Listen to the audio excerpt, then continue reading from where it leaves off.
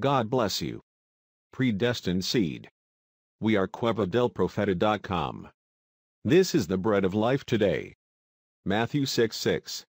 But thou, when thou prayest, enter into thy closet, and when thou hast shut thy door, pray to thy Father which is in secret. And thy Father which seeth in secret shall reward thee openly. Listen now, the voice of God's prophet for this day. You know, there's something about getting alone to yourself.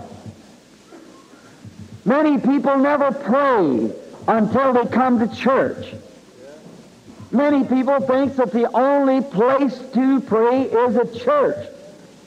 But the Bible said for man to pray everywhere, lifting up holy hands.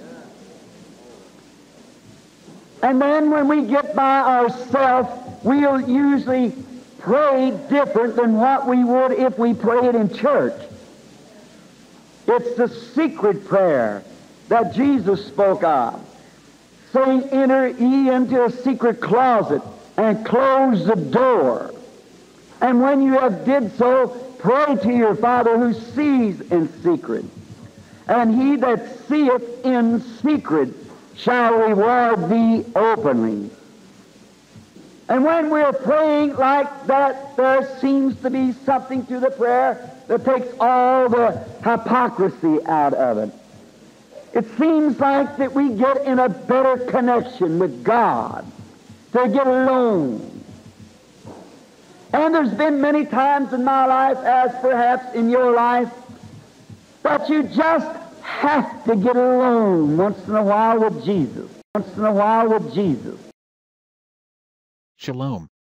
If this video was a blessing for your life, like, share and subscribe to our YouTube channel. God keep you dear brother and sister. Señor, y sentir la paz excelsa de tu amor.